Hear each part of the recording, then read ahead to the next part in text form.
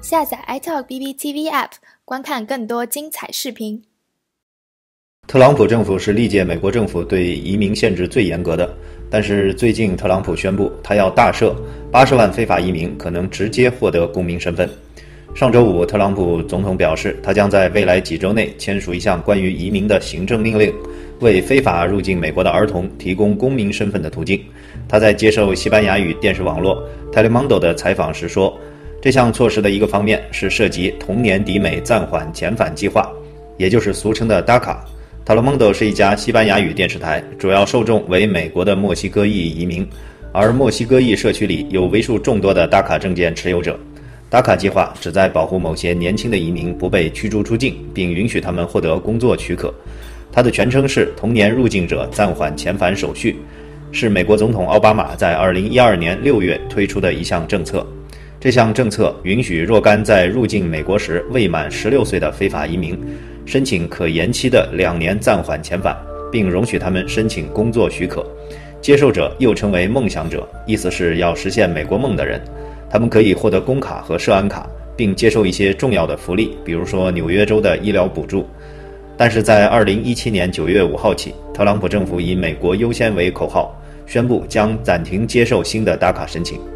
特朗普之所以当选，很大程度上是利用了美国中下层白人对包括达卡计划在内奥巴马移民政策的强烈不满。在2016年总统竞选中，特朗普始终坚持将非法移民赶回家，并声称要在美墨边界修建隔离墙，将墨西哥人挡在墙外。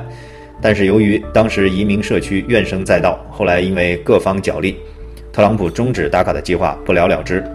随着2020年大选到来，因为疫情导致民调大跌的特朗普也不得不打出移民牌。为了赢得更多的选票，此前对移民态度强硬的特朗普来了一个大转变。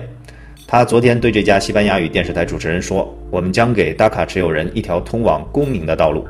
目前，美国大约有70到80万名童年随父母非法入境的大卡证件持有者。这些人在美国长大、读书、生活，对其母国没有任何概念。如果一直不解决这些人的身份问题，对其一生的打击都会非常大。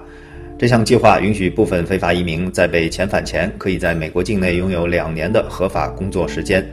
申请打卡的非法移民应具备五项条件：第一是抵达美国的时候年龄在十六岁以下，然后在二零零七年六月十五日之前抵达美国，并在此后持续居住在美国境内，截至二零一二年六月十五日年龄在三十一周岁以下。以上高中或高中毕业，或者从军队荣誉退伍，没有重大犯罪记录。特朗普昨天说的是：“我们将给打卡持有人一条通往公民的道路。”这也意味着他将不只是给这些打卡移民绿卡，而是直接给予公民身份。特朗普的言论立即遭到他的共和党同僚泰德·克鲁兹的谴责。后者在推特上写道：“如果特朗普试图非法扩大大赦，那将是巨大的错误。”而且在十一月三号大选前，特朗普还要面对诸多法律问题，时间未必足够。但是不管如何，他释放出这条信息，给了无证移民一种希望的信号，也许能够争取到几十万张选票。如果您喜欢本期视频，请关注、点赞并分享，下载 App 解锁更多功能。我们下期再见哦。